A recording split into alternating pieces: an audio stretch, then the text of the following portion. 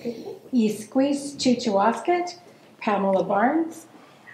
Um, it's my honor today to formally welcome you to the uh, territory.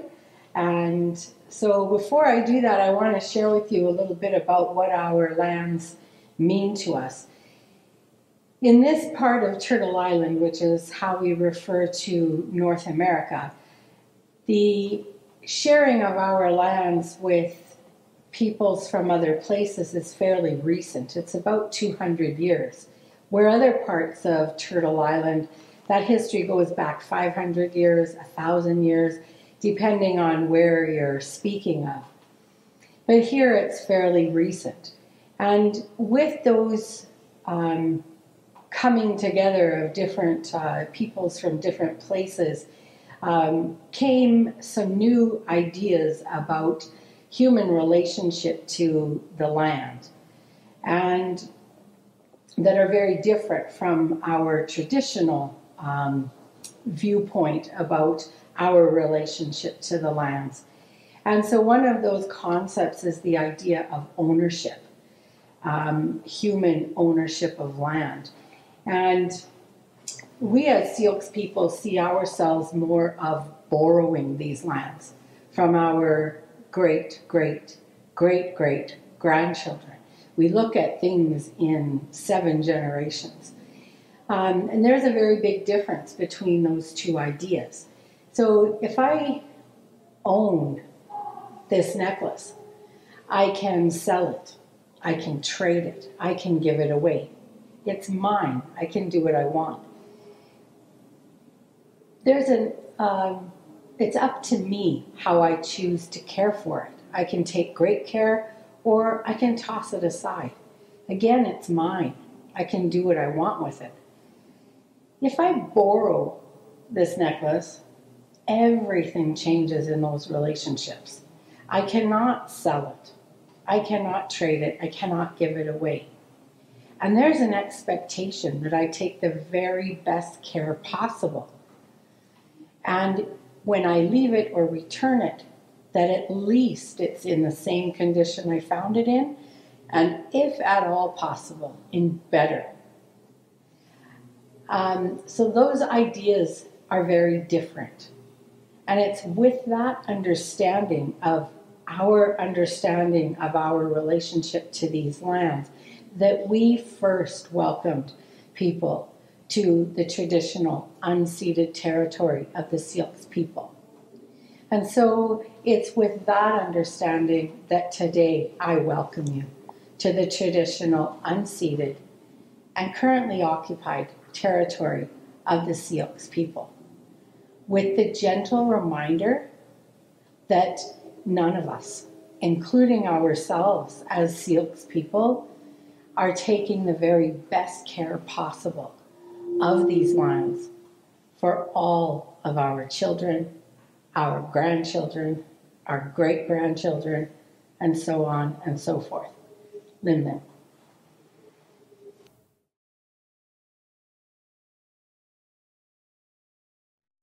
Right, well, I will dive right into my introduction and we will kick things off.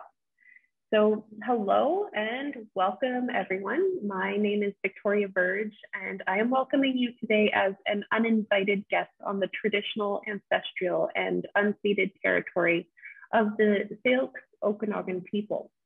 As the education coordinator of adult programming here at the Kelowna Art Gallery and on behalf of the board of directors and staff, I'd like to respectfully acknowledge that we operate, gather, and benefit every day on the land of the Okanagan Nation.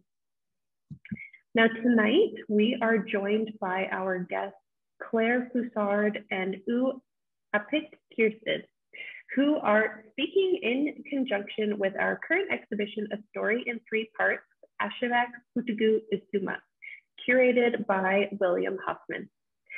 Um, just a little bit about our two speakers before uh, we dive in. Um, Claire Foussard is an American art dealer, curator, and former director of Ki Smith Gallery, Harlem and East Village in New York. Um, since 2017, she has worked with Kinngait Studios and the West Baffin Eskimo Cooperative as a research resident and ongoing consultant. Um, U Apik Kiersted is an Inuit artist, activist, and producer born in uh, Frobisher Bay, uh, Northwest Territories, now Iqaluit Nunavut. She is a self-taught artist, host, producer of Inuktitut programming, uh, both in radio and television, and a strong advocate for Inuit culture. So just a few housekeeping rules for those of you who maybe haven't joined us before. Um, please save your questions for the end. There'll be a 15 minute sort of time period for Q&A. Um, at that time, just type your questions into the chat bar below. We'll do our best to get them all answered. And um, it's also important to note that today's lecture is being recorded. So if you know of anyone who would like to check this out at a later date, uh, we'll have it up on our website um, within the coming days. And um, thank you for joining and enjoy the talk. Without further ado, please take it away, ladies. Thank you. Thank you. Hi, everybody. Hi. Um, all right, let me see if I can figure out how to share my screen. Um, but yeah, as Victoria said, I'm Claire, um, and Oo is the one in the fabulous gla glasses. And we're going to speak today a bit about an exhibition that we co curated this past summer in New York City, and just sort of talk more broadly about the evolving ways in which Inuit artists have used art making as a way to maintain traditional knowledge and share that culture with the world um, since the founding of the West Baffin Eskimo Cooperative and similar cooperatives um, in other Arctic communities, but we're going to focus on the community in Kinngait. Um, two artists included in the exhibition at Kelowna, Kenojuak Ashevak and Sharni Pootoogook, are both from Kinngait. Um, and we'll speak a little bit about them, um, but we're also going to talk a little bit more about some of the works that were produced by artists in the 1980s up until um, 2021. I think our most recent work was in the exhibition. Um, let's see, share screen. There we go.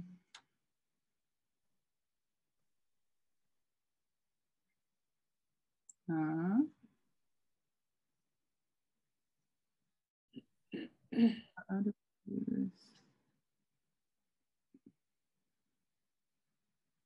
Does that look right to everyone so far?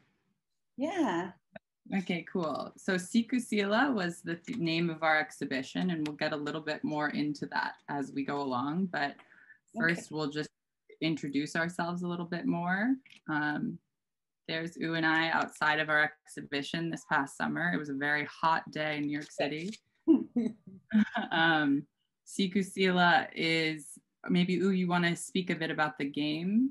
Okay, well, um, when Claire and I spoke before we decided to do this, um, we talked a bit about some of the restrictions and and then of course uh, what she wanted to include in the in the show. So um, they seem to coincide with uh, the game Sikusila, um, the conversation, um, and you know I don't know um, Claire and I kind of always have uh, um, landed on the same wavelength, yeah. if you will. And that time we did when she started talking a bit about uh, how it's the work is about the landscape and and a bit about the their homes or environment and and then of course with COVID restrictions. You know, there was lockdown lifted, and then there were restrictions. And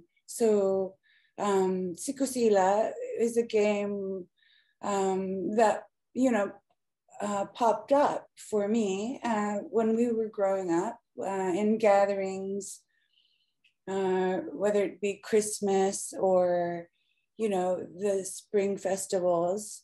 Uh, there would be a line drawn and participants, male or female, would line up on one side and and the caller uh, would say one side of the line would be siku and the other side would be Sila. And every time he said Siku, you would jump over, or you know, uh, Sila on the other side of the line, and and then it kind of also uh, paid a homage to uh, Kinngait or Cape Dorset, formerly known, um, to their regional um, traditional name of Sikusila. So, yeah, that's how we came up with the name. Yeah, so the game sort of seemed like a, a good, like an allegory for the ways in which these artists are like delineating interior versus exterior space. Um, and we'll get a little bit more into that as we start talking about some of the works. Um, this is Oo's hometown of Kim Kimmirut, which, yes. Which is a neighboring town. It's just one town over from Kinngait. Yes, and most uh, most of us are related to uh, the people in Kinngait as well. So I have close ties with the Suna family, and growing up in Kimmirut, you know, that's that's me there uh, in kindergarten, and that's the community that I grew up in, where you know, um, that's my relatives beside me, or some some friends, and it was a close knit um, community. Uh, and we would go carving or um, to the soapstone mining uh, in the same place that the people from Cape Dorset would go. Um, I'm not sure it's functional now, but it was uh, Wakeham Bay. Um, and I, I don't think a lot of people understand that um, carvers would mine their own soapstone and that means they need a boat, they need the motor, and a lot of the logistics to be out on the land.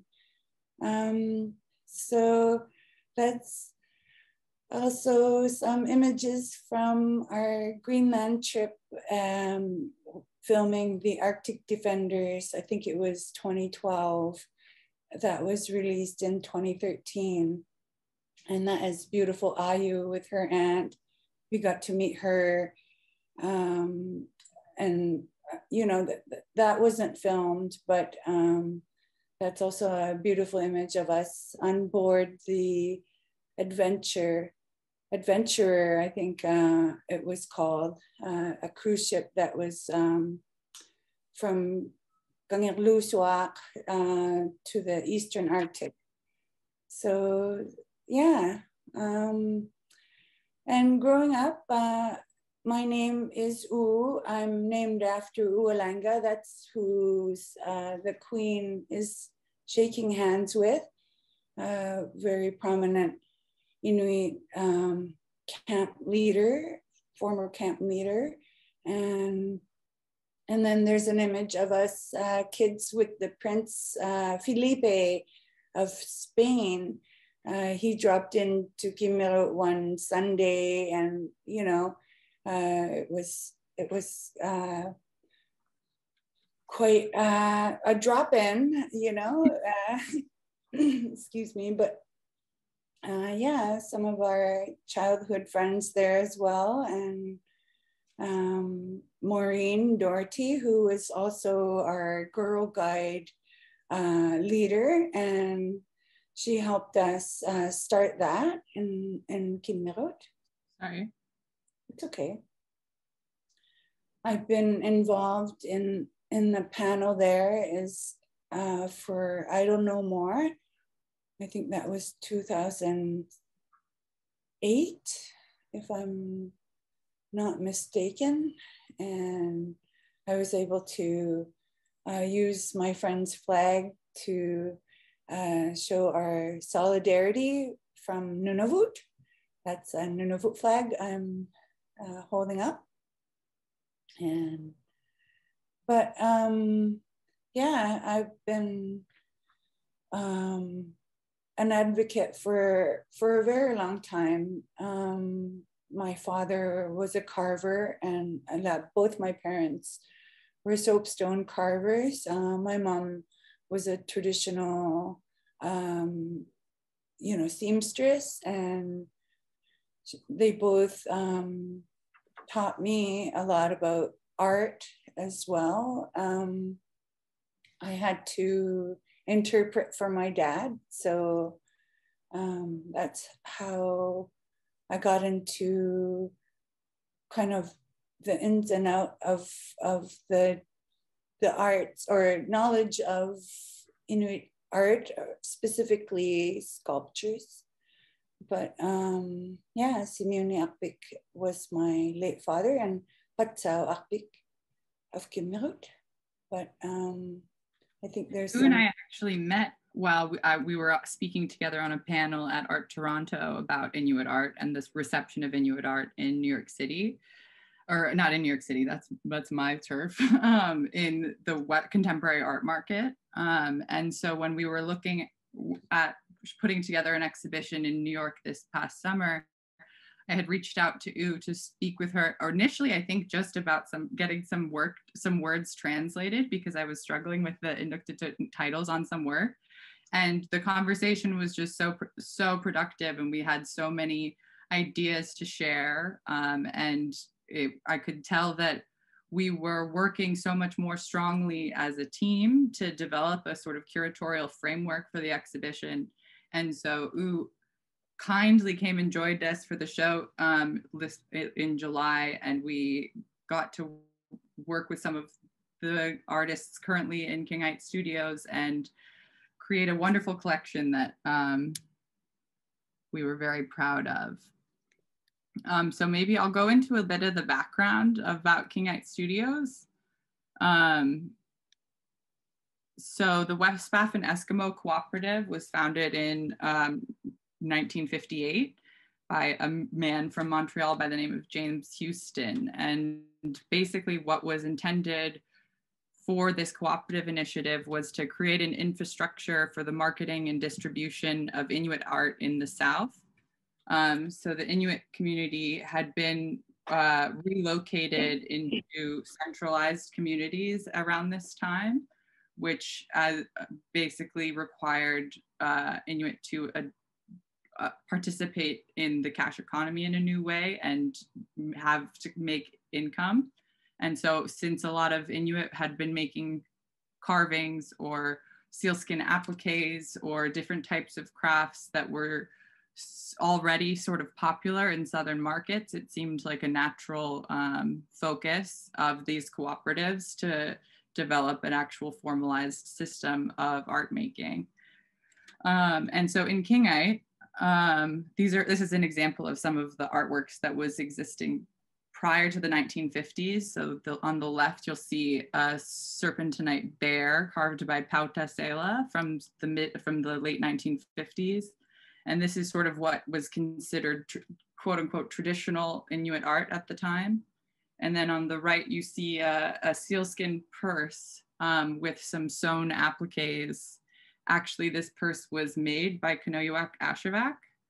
And she was carrying the bag um, around the studios that had been set up um, by James Houston and his wife. And they noticed the applique on the bag and they asked if she wanted to convert, turn it into a print. And so if you look at that symbol on either side of the central square, you might recognize it as Rabbit Eating Seaweed, which is Kenojuak Ashevak's first ever graphic artwork. And so I, lo I love this story. I didn't even know about it until like this past fall when I was reading the thesis of uh, a budding art historian from Kinngait named Nakasak Alariak. I'll probably mispronounce that, but um, I love the way that this traditional form of art making, this seal, sealskin appliques, has informed the generation of this new kind of imagery with the introduction of printmaking. Um, so James Houston was had studied printmaking in Japan with um, Japanese woodblock printers um, and sort of was inspired by that studio model. Um, but since wood is a sort of uncommon resource in the Arctic as it's above the tree line, they adapted the technique to resources that were available. And as there were so many skilled stone carvers in the community already, they decided to start use they invented a type of printmaking called stone cut so you see in this image um, this is a printmaker named lukta um, and he was one of the first printers that worked with um, the co-op and he's creating the relief uh, matrix for one of Kenojuak Ashevak's drawings. So printmaking became sort of an essentially collaborative um, process where the artist would create an image, a drawing, and then work directly with a printmaker to translate that image into a print. So here you see one of Kenojuak's drawings um, on the left, one of her famous owls. And then on the right hand, you see um, the stone cut print adaptation of that. So those color variations and everything would have been chosen by Kenojuak and the printmaker um, in tandem, as well as some of the art advisors who worked with the WBEC. And this work actually um, eventually was in, on a banknote from Canada that was released when I was um, doing my residency. Um, and so the stone cut printmaking, what has sort of evolved, it originally was carved out of locally sourced stone, but now um, in, a, an exercise in sustainability, the artists in Kinngait are using recycled pool table slate to carve their matrices. So you can see the corner pocket up uh, uh, in this this slab that actually, I believe this work is included in Kelowna's exhibition. I'm not sure what it's called. Um, but uh, you could, all of these sort of textured marks are hand carved by one of the stone cutters and then the prints are pulled to and released to the South in an annual print collection. Um, so this is a quote by an, an art historian that I think really capsule, encapsulates the sort of changing nature of the artwork um, or the role of artwork in Kinngait. It says art serves a crucial social function for the Inuit in the second half of the 20th century for by means of, sorry, my, my screen is a little bit covered. Oh, I'm having some technical difficulties. For by means of the arts of printmaking, drawing, sculpture, Inuit people maintain um, a relationship to their unique past to draw harpoons, kayaks, and Inuit syllabics is to be Inuit, where in the past to use these things provided a unique cultural identity. So since this this art making, this form of art making, graphic arts emer emerged in a time where Inuit were experiencing a lot of cultural upheaval. Um, it became a very important tool for visual record keeping and um, maintaining memory that was being threatened um, as the forces of assimilation were kind of um, closing in, um, I guess. And so the, the tradition that emerged is has created this uh, really essential record of a very changing social and political landscape over the decades and um, a very unique forms of perspective and distinctive individual artistic styles started to emerge by the eight, by the 1980s. Um, so with Pitseolak Ashoona, she was one of the first generation artists working alongside Kenojuak, and she became known for her sort of intensely autobiographical images. Um, she Inuit for a long time, working with the studios, had been creating images of the landscape or of Arctic wildlife. Um, but she was one of the first artists to sort of invite you into the home. Um, so this work on the left, I believe, is from 1969, and you can see um, a, it's I think it's called Summer Tent, and you can see the figures inside the tent and it's sort of like your first introduction to that interior private life that had yet to be shared with the external art world.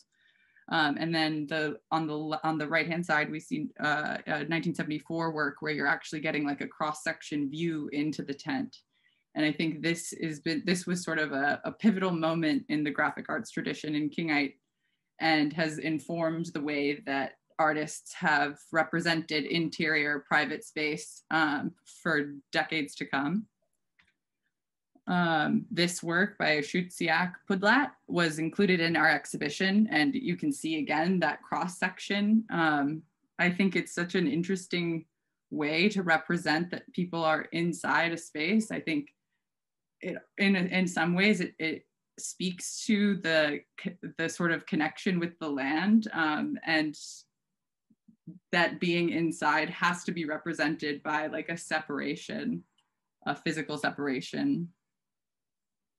And I believe this piece is called Move to Winter Quarters, and it, it's a lithograph from the 1984 print collection. And then this is a work by Napachie Pootoogook, who is actually Pitseolak Ashoona's daughter. And it is continuing that tradition of showing this interior private space, but it becomes a bit more personal. You see, you are, are a little bit closer, you see figures playing with dolls. Um, and in a it's it's sort of Napachie's way of building upon the tradition that she and her mother had created and bringing it into a more modern and contemporary um, landscape. This is another work by Napachie Pootoogook. Um, let's see. So these were two of the works that were sort of the driving um, force behind our curatorial framework. Um, they're two drawings by Jutai Toonoo. Uh, for Sikusila, yeah. So I these were the sort of the first drawings that Oo and I were speaking about together um, as sort of this pairing juxtaposition of interior life and exterior life. Um, and so the one on the left is called Looking Out My Window, and you see the, the development of such a, an almost exacting form of perspective. Jutai started using photography in his work, so he was drawing from images, and then these drawings would then be later considered as prints. But he actually, his work um, along with the work of several other artists, developed a, a, market for drawings themselves outside of the printmaking market, which is where you get to see some of the more experimental subject matter, like in this work on the right. Um, I don't know if it, you can see it through your screens, but um, throughout the landscape, there are a cacophony of curse words, um, and the piece is called Shitty Fucking Windy Day. uh, which I think is just hilarious. And again, sort of speaks to uh, a connection to the environment, almost like a, an interpersonal relationship. Well, because on a shitty effing windy day, it's beautiful like that. You know, yeah. it's clear skies between seasons. It it does uh, look like that. So yeah, it's great.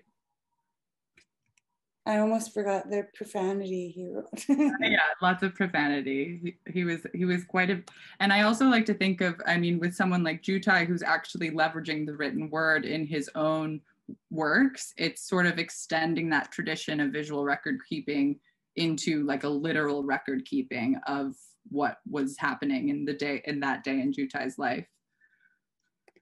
Um, this work, um, these are two works by Shuvinai Ashoona, who I'm sure some of the people in the audience know and are familiar with. Um, on the left, I forget the title, um, Summer Tent. Uh, you, you might have to help me out. Yeah, no, it's it is the summer tent. The summer tent, and then on the right is um, a picture of the swarm of bees. Yes. Um, and you can see the influence of artists like Pitseolak in this, the representation of a tent from this kind of bird's eye view. And it's this, um, because it, it is, mentorship is sort of inherent to the Kinngait community. Like there's people sharing studio space or passing artistic methods from generation to generation. It's as, the influence is as literal you know, isolated to Kinngait. This is right. a tradition for Inuit mm-hmm. in any trade. So just to point that out. Yeah, totally. Um, let's see. What was that? What was I going to say about Shubhanak? Oops. Um, so you can see the influence from generation to generation, but you can also see influence between artists of the same generation. And that's one of, this is one of my favorite moments in the collection. Um, this is a drawing by um, Padlu Samueli, and the drawing is actually of Chauvenet's uh, station in the drawing studio. So it's on the back of that work, it says, um, colored pencils. I wonder how many drawings she's colored with them. And you can see just these tiny stubs because Shuvinai has started making these sort of gargantuan six foot fig, um, tall drawings. Wow. I know it's so great. You, I, I found this image um, from my visit to King Kinngait in 2017, and I was so pleased to see that the pencil, the pencil holder is the same as the one in the drawing. No, like I, when, because the one on the the Padloo Samayualie's print was in the Sikusila uh, exhibition, and um, I, I like to point out that you know Shuvinai really cares for her her pencils and and you know sharpens them herself. Mm-hmm. I mean, must be hard to let go. Look look at how small they are. right. And I also I think it's something that uh, been so wonderful that I've been able to see since working with this artistic community is um, I mean, as early as someone like Kenojuak Ashevak, as artists become so celebrated by the market, um, it becomes a real point of pride for the community. Um, and artists sort of take on the role of cultural representatives in a very serious way. And art making um, is a real way for Inuit in communities like Kinngait to um, educate the world about their culture and about daily life in the Arctic. Um, these are some other works by um, Padloo Samayualie. And so you can see how she's kind of documented the ways in which the landscape has changed. Um, she's no longer depicting a tent or an igloo. She's depicting the buildings that are currently in Kinngait. So the two in the middle Oo, um, informed me are gasoline tanks. Yes, the one on the top is actually uh, a tank farm. You could see the other ones kind of in the background. Mm-hmm. And then the one on the bottom is uh, closer to the homes. So that's probably uh, diesel oil to um, for light and you know for the home but um, do you have closer images? Do you got to see their shadows and their lines. Oh yeah, They're very precise. I may not have one. You, yeah, I don't think I included one in the um, slideshow, but on the upper, um, the blue drawing in the center, you can see um, how exactly she has recorded like the changing shadows of um, the steps as the sun changes. And so again, it's this sort of like uh, need to accurately depict what is going on in order to record it and share it with the world. And Padloo began um, creating these sort of like intensely architectural detail drawings, um, and she caught the attention of the Brooklyn Museum um, in 2015 or 16, and she was invited to go do a, a residency, um, and she produced a series of drawings based on photographs that she took while she was here in New York. And so on the right hand side, you see a, a drawing that's, in, I believe, is titled Pipes in NYC. Um, and I, I, think it's so fabulous how uh, she sort of points her style at any site that she sees and it kind of illuminates things that I personally have overlooked in my walk walks about New York City. Like I'm sure I've passed by a scene like that a thousand times, but she found a beauty in it and represented it in a really captivating way. And so that was a real privilege to be able to showcase these works um, back in New York City after they had they were went up to the Arctic to be created, and then they came back down to uh, New York, which is just the ever ever fascinating movement of art objects. Oh, this image is not as, um, and so we also included image works by um, Padloo's sister, Nicotye Samayualie. Um, so this is an installation view from the exhibition. Um, and Nicotye, again, is sort of representing exterior and interior life. Um, I love these two works in particular.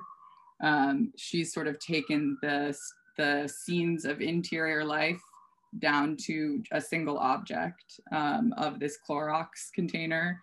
And she's written down every single thing from the label to make sure that it's exactly the, the right um, the right thing. And then um, on the right hand side is a, a piece called uh, Sometimes They Leave Trash on the Land. So it's an image of the landscape um, with, you can see a Coca Cola bottle, a Pepsi can, and a box of bullets.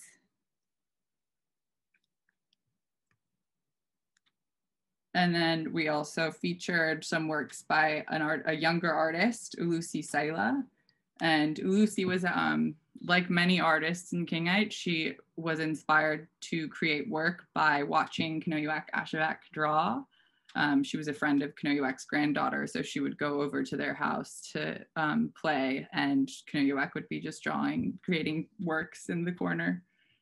Um, and that's again, mentorship is so essential to the preservation of this type of art making. Um, Lucy, Oo, you, is there anything you want to say about Oo's works? Lucy's work? Yeah, oh, sorry. No, they're beautiful. Um, and I could relate. Um, it's, it's, you know, uh, in our DNA and, and when you're exposed to uh, world renowned artists or uh, your family members, um, you know, it just, um, I don't know, we're just uh, sponges, and Ooloosie does these beautiful, because um, some of them aren't prints, right? They are originals. Yeah. Yeah. So the one on the left is an original drawing. Um, and then the image on the right is a print. But it's so hard to tell the difference because she knows how to wield a colored pencil like no other. The, the deposit of color on on the drawings is just so rich that it there is um, less less of a translation needed when she's when she's working with a printmaker. Um, I think a lot of a lot of it is uh, her her work since she is one of the so-called third generation artists. I think her work is influenced by printmaking as a medium. So uh, the mark making is informed by the final print, um, even though it is an original drawing in and of itself. I, I love the one on the right. Um, you know, because that's what it you know, looks like in the spring when the ice is breaking off. And that's a little island. And because we live in tidal uh, areas, the tide comes up and the ice forms around the, the island. And I, um, I think it was Tim, the late Tim Pitsiulak, that would say that looks like a, a cake. Mm-hmm. But, and this is, this is another work by Ooloosie, and it, I think we, wow. they, were referring to it in the studios as the cupcake. Oh, okay. I, I love her work. I, rem- I remember being so struck when I visited Kinngait um, in 2017 I, when we were sort of descending from the onto the airstrip. The landscape did look almost exactly like her representation of it, even though maybe to someone who has never been to the north would not think that this is that accurate of a depiction of the landscape. Like it beautifully encapsul encapsul like it captures the, the whole scene with the melting snow and um mm-hmm. yeah i love this work. Yeah because islands are very important uh, for the hunters and families uh, no matter what destination you're going, you will stop and, and either for a rest, uh, you can um, make lunch there or just, you know, um, a little time off the, the rough sea if you, if you need it as well. So yeah, it's beautiful. Mm-hmm. Yeah, one thing that Oo touched on before is um, Sikusila being the traditional place name for the region where Kinngait um, is. And one of the conversations that we were having during the conception and uh, execution of this exhibition was sort of the way Inuit place names, in a way similar to art, um, sort of preserve and pass along cultural knowledge that is essential. Um, so, Oo, if you want to speak more a bit about that. Well, yeah, I mean, you know, if you look at the Canadian Arctic map now, it's like King whoever and, you know, all these Europeans. Um, but um, we do have traditional place names and a lot of them are descriptive. They can also warn you of danger. Um, and that goes with also the Inukshuks. Um, some of them might help you to navigate through charters like around islands because you don't want your boat to, you know, hit uh, the bottom or as they say, landed, I think. Um, so, um, but traditional place names are, are very um, strong for the hunters, particularly. Um, and you know, there's traditional fishing camps. Um, they might have names including where they might get some eider ducks or uh, eggs, you know, when they're egg hunting uh, over the spring, usually um, during the melts. Um, yeah, so it's we're very descriptive, even for our nicknames, um, you know, for because we couldn't um, say the white guy's Hudson's Bay clerk's name, or um, so there were a lot of nicknames as well that kind of describe the character of, of the person they've, yeah, they've named.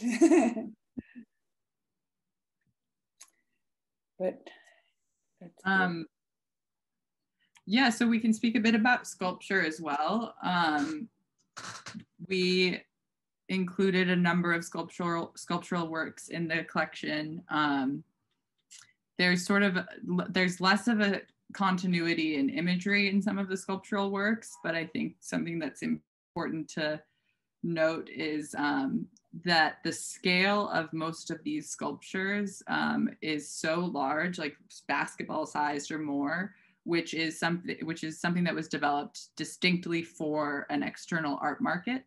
Um, since Inuit were formerly nomadic, um, a lot of the carving done previously was uh, something that would be easily transportable, something smaller. Um, but there's been a really strong market for these sculptures in the South and around the world since as early as the arrival of whalers and before. Um, so these works are by an artist named Pootoogook Jaw, and he's one of the master carvers in Kinngait. Um, he's taken on a mentorship role and um, is really strongly trying to maintain this tradition in younger generations. Um, so on the left, you see a series of drum dancers, and on the right, you see um, a piece called Eve and the Tree of Knowledge, um, where Pootoogook has decided to show Eve wearing an amauti, um, sort of reclaiming the Judeo Christian narrative as his own in a way.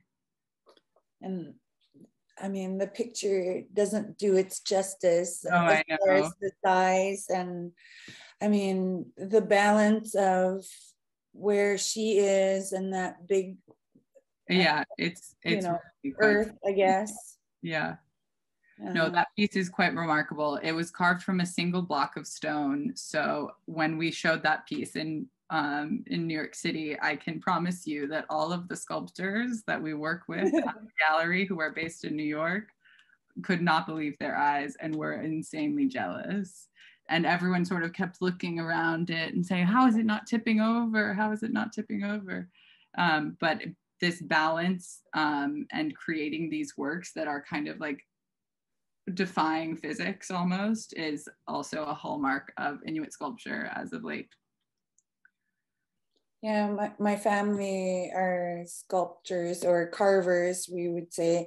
Uh-huh. And um, Mealiakavak actually, uh, whom I had the pleasure of interviewing, she would say she that, you know, because I would ask, like, do you already know what it's going to be? And she, she said, she would chip away and and it's like a present you know at the end it kind of speaks for itself. You just start mm-hmm. to realize what it's becoming as you're chipping away. It's a, a collaboration with um, the earth in a way.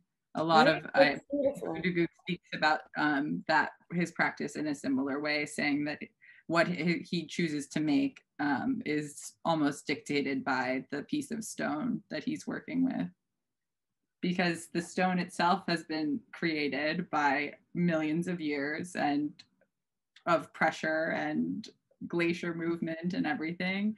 And it has these cleavage marks and different pieces are different levels of hardness. So it's just a real these artists have an amazing mastery of geology as well. Um, and you can see again in this piece by Jamasie Pitseolak, the one on the left, that is sort of a raw edge um, of the stone. So he's sort of highlighting the material as a sort of central um, theme here. And that's a piece called Missing Link. Um, and then on the right, we have a wonderful sculpture. This photo again doesn't do it justice, but it's called uh, Not a Victorian, which is hilarious. The sense of humor on that guy is knows no bounds. Um, and so those are two of some of the more um, established sculpture, sculptors, carvers that were um, included in the exhibition, but we also featured some of the um, rising talent. Ningyu Shawakashuna. Um, she was born in the 70s, but she was raised by her grandparents um, out on the land in a very traditional way. Um, and I and she speaks about her work being um, heavily influenced by her upbringing that was sort of uncharacteristic of most Inuit living in the north at that time. Her mm-hmm. family was the last family to um, settle in Kinngait in 1996. Uh, so wow. I know, right? Because um, there's some myths as well or legends that we were one with the animal. And so there's a morph, you know, and a lot of, uh, there's the loon on this one and the seal um, and the rabbit on, as well. Um, and I saw that in Tukumi, Robert Tukumi and Baker Lake's um, prints and, and artwork as well, where they depict um, the animal, one with the. Right, the, these transformation scenes. Yeah, yes. Beautiful. Yeah. But yeah, there's serpentine, right? Serpentinite or something. I'm sorry and marble in the middle, which is really hard. Um, from what my brothers would tell me, it's it's really hard to carve. Um, and um, then there's the the the darker serpentinite. serpentinite. Right. So the green and black are both the same stone. There's just that much variation in um, what's getting quarried. And so sometimes um, for a period of a time, a lot of the work will come from one section of the quarry. So it'll be very green. And then maybe a few months later that all of that stone will be used up and they'll move to a different section of the quarry that is more of this black stone. So again, nature uh, influencing the artwork as much as it can. Um, and then we also had some images of some more contemporary quote unquote subject matter. Um, these are works by an artist named Pitseolak Qimirpik. And so on the left, we have Homer getting mail. And then on the right, we have Marge walking her pet muskox, um, which these figures are were very popular uh, in our exhibition. Um, and uh, it's sort of a prime example of the ways in which Pitseolak um, combines tradition and pop culture in each of his work. Um, he's known for uh, creating images of dancing bears or dancing Arctic wildlife listening to iPods. Um, so he's a real uh, up and coming talent um, that we were delighted to feature. And I believe these these works ended up in the collection of one of the writers for The Simpsons, if I'm not mistaken. Uh, well, there was talk of giving one or the other. You know, yeah. I wasn't sure if he was going to end up with the whole set, but uh, a friend of a friend, right? The, the one of the writers. Yeah, cute, eh? Which is such a testament to the the way that art or objects can move throughout the world in a way that maybe people don't.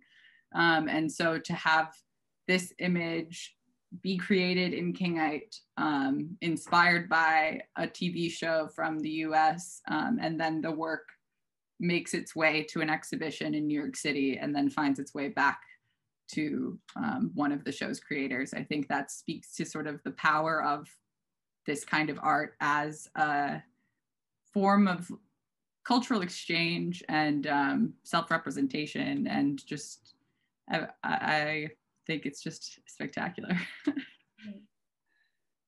and I think that's the end of my images. So I think we can open up to some questions if people have anything.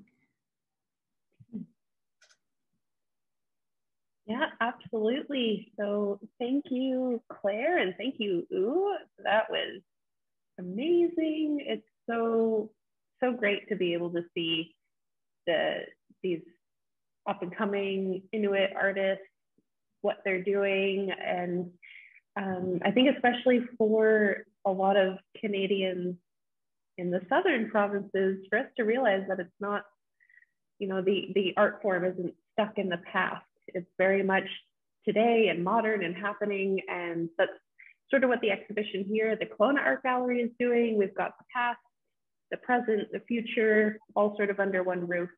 Um, so yeah, thank, thank you so much for, for letting us explore your exhibition and, and letting us learn a little bit more about both of you.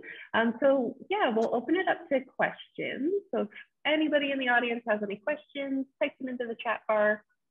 Um, I think we have a comment here from Sandra. She says, I love all the stories about the people and materials and the landscape. Um, any more stories that you would like to share would be appreciated. Anything else you would like to add, Claire or Oo?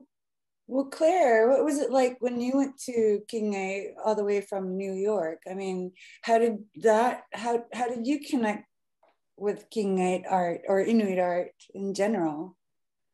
Well, I first I first encountered Inuit art when I was actually, I come from an art history background. Um, I studied art history and anthropology in undergrad, and I was um, interning at uh, an an art gallery in Chelsea when I actually met William Huffman, um, who curated the exhibition at Kelowna. And I was sort of um, experiencing some gallery internship burnout, uh, a little bit of dissatisfaction with the contemporary art world, and a lot of the ego that goes along with it. And so I met William and he started sharing with me about the artists in Kinngait. And I looked at some of the images and I was just so struck by how vibrant they were and how unique some of the forms of representation were. And so the following year, we I um, got funding to do a research residency. Um, and I was primarily in Toronto, but I did get to go up to Kinngait to work with some of the artists. And it's quite um, interesting. I mean, I'm from Minnesota, so I think of myself as a northerner. uh, um, but when I arrived there, I just had never seen a landscape quite like it. I, you can't really underestimate. Um, I love the landscape.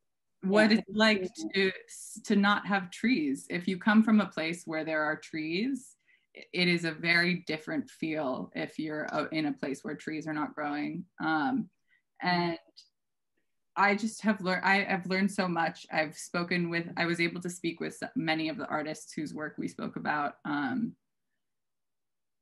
and it's just completely transformed the way I think about art and the way I think about artists. And it has so greatly informed the way that I work with artists based in New York City.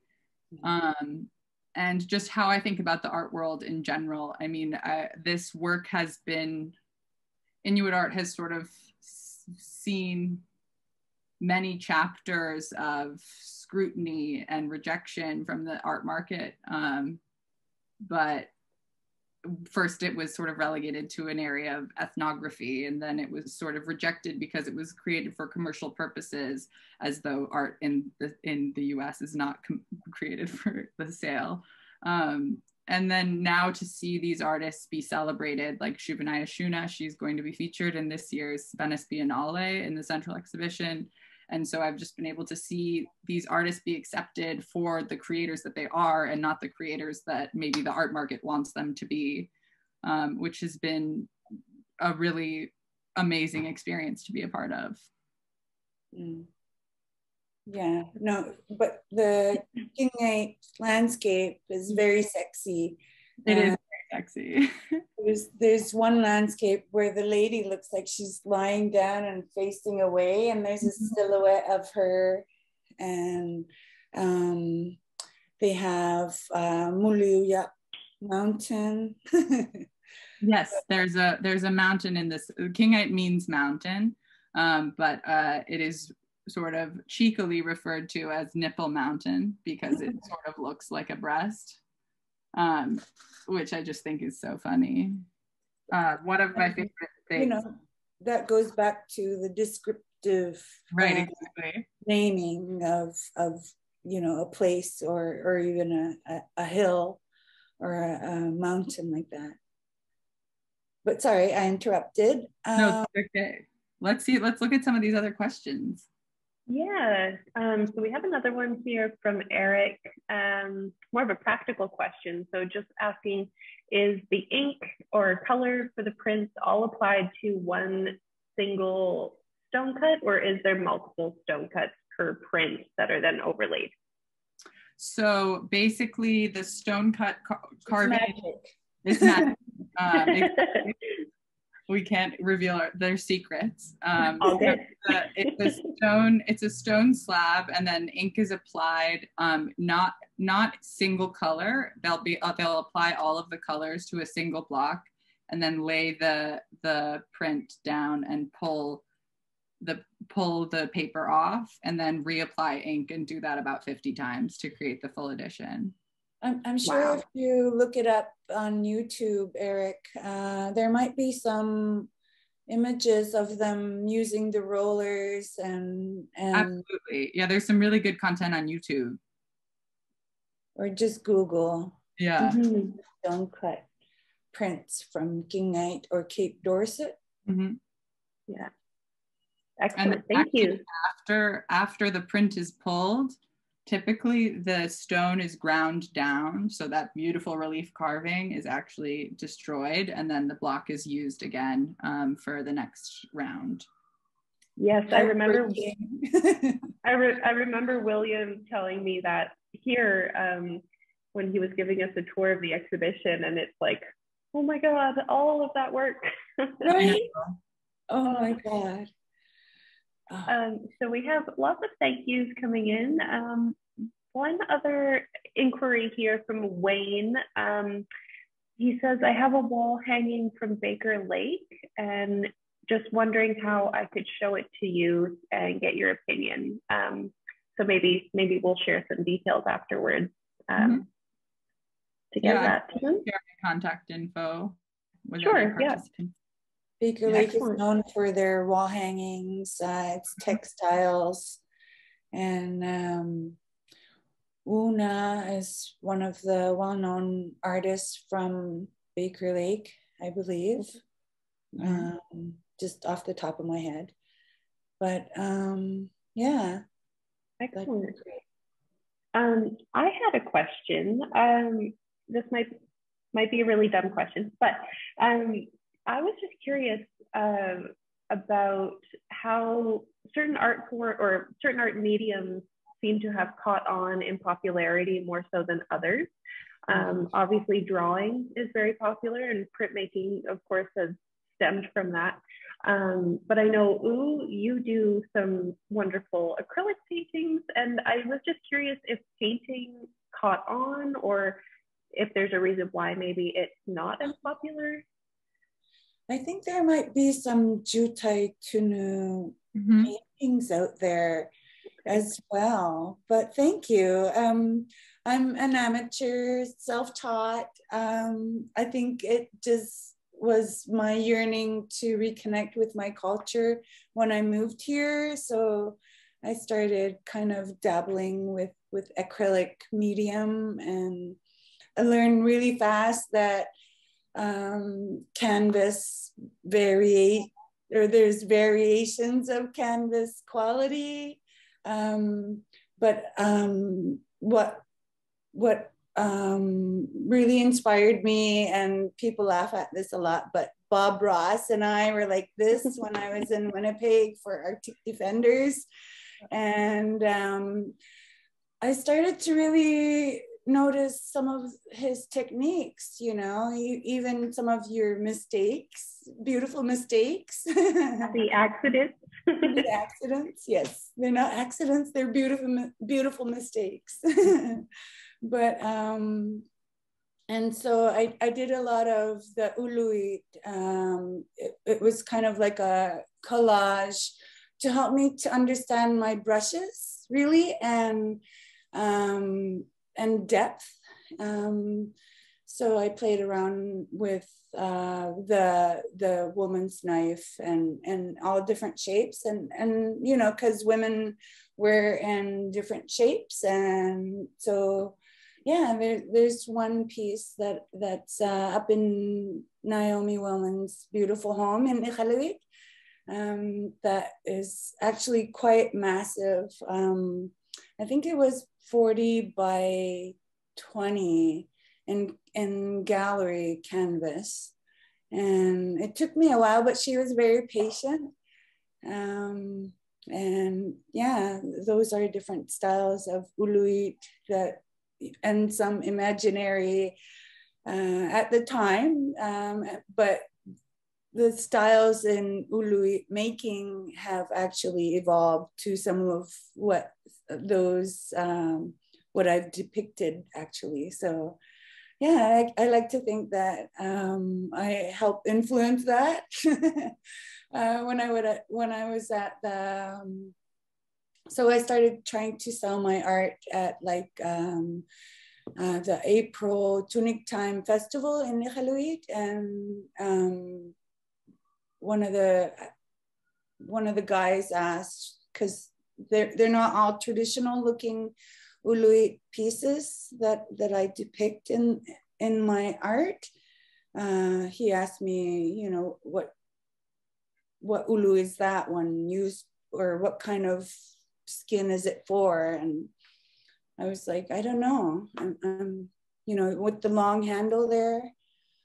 I didn't know at the time. And then when I saw him again, I waved him down and I said, I think you could use it for scraping some of the dry skin, like the Western Arctic, maybe.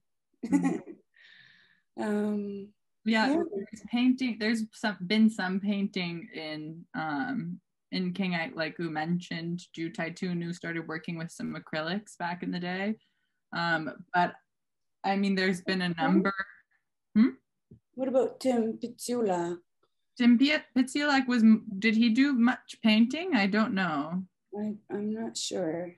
But I he, think, I think for the most part, printmaking sort of took off in places like Kinngait because there was a willingness on behalf of like the printmakers. Um, they were really interested in enjoyed the actual medium i mean printmaking was also introduced to communities like baker lake but um, they were sort of less interested and they were more interested in creating uh, textile wall hangings like the one that wayne mentioned. Um, but there's to ongoing artist workshops that happen up in the north all the time. I know um, in Kinngait there was an animation workshop in the late in the 80s maybe um, where that several of the artists participated in. So a lot of artists created either like stop motion or different types of animation so it's just uh, constantly there's new forms and artists are creating uh, new types of work out of the materials that they have on hand i know once one carver i'm forgetting the name but uh, she created a sculpture out of styrofoam. Um, and like she carved a whole piece out of styrofoam, but I, I think it just ended up sitting in the studio because the sort of studio managers thought, you know, this is not something that people can understand as Inuit art, um, mm. which has been a real difficulty for a lot of artists. Get a hold of it and make a mold. yeah, exactly. Um, but Sandra Kettler mentioned descriptive names of places, landmarks. Thank you for sharing. I want to point out that there's even an app. I yeah, the app is fabulous. I think it's called Siku. S-I-K-U, yeah. S-I-K-U that you can download and there's a bunch of traditional place names around the Baffin specifically right now using that mm-hmm. app Siku. And if you point at the area and the place name, it gives you the English uh, version of, of why it's called that. So mm-hmm. that's very, yeah, look it up. Have fun that's with incredible. it. Yeah, I will. Yeah. Maybe if you so go cool. to Nunavut, you could show off your some of your knowledge in the region, Sandra. Just kidding. Yeah. Ilali, you're welcome. Yeah, that app is wonderful. There's so many initiatives um, that are so productive in preserving this cultural knowledge. I think Oo was telling me that a lot of the land claims um, agreements that have happened since the 90s have included um, restoration of traditional place names, um, mm. which is pretty remarkable. Yeah, well, like Kinngait uh, it was formerly Cape Dorset. Uh, Kimmirut, where I'm from, and that's it, oh, right behind me, um, was formerly Lake Harbor, and our capital in Nunavut was Frobisher Bay initially. Uh, now it's called Iqaluit. And so there's a lot of communities that have um, decided to, yeah, use their traditional place names. So it's a great way to revitalize culture and respect. Um, and that's uh, some of the initiatives that have started because of the land claims. And yeah, but you know, it's uh, also community, you know, it, it was up to Kinngait or Cape Dorset at the time to um, become Kinngait, you know. Yeah, I believe they voted between Cape Dorset, Kinngait, and Sikusiilaq. Yes. Yeah, I wondered um, why they didn't go with the Sikusiilaq. Yeah, I don't know. Maybe just because of the the location of the town being so close to the mountain. I'm not sure. Yeah. I don't know. Well, um, I mean, I think there's there's probably still a long way to go, but it's it's hopeful to see that there's there's some resurrection and traditional language and culture and and revitalization, and hopefully it happens faster.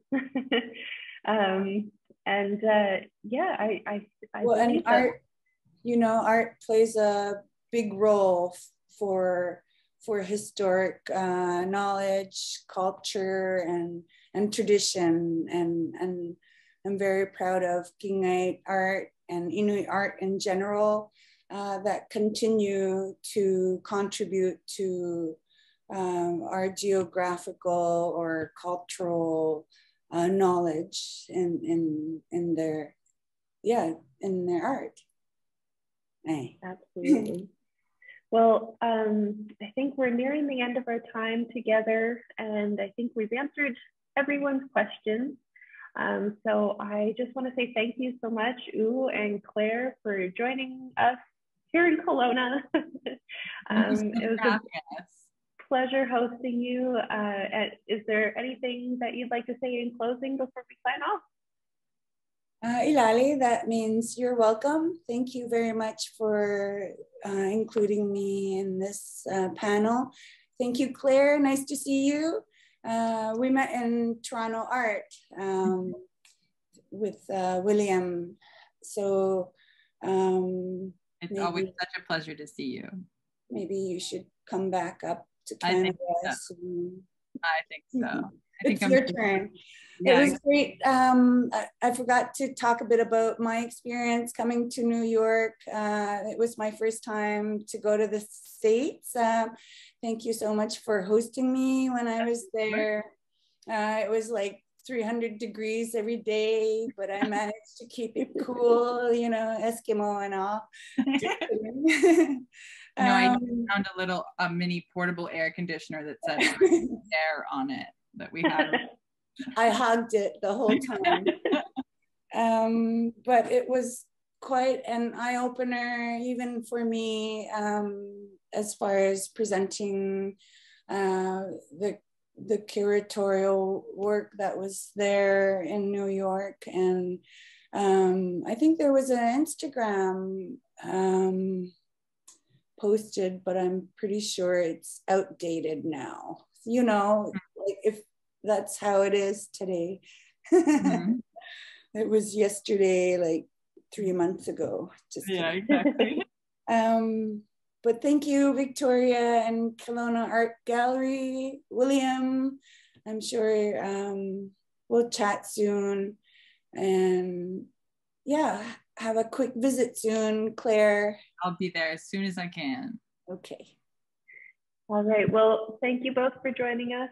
Um, quickly before we go, I'd like to say that um, we, of course, want to thank our sponsor, Benson Law, for their generous support of our um, uh, presentation of a story in three parts here at the Kelowna Art Gallery. And um, stay tuned. There will be another lecture happening in conjunction with a story in three parts. Um, and we hope to see you all there. And if you're in or around Kelowna, please take some time to come down and visit. Um, always happy to, to see new visitors coming in through the doors. Okay, so that, that's everything from me, and I wish you all well, and thank you again. Thank, thank you. you. Good night. Bye.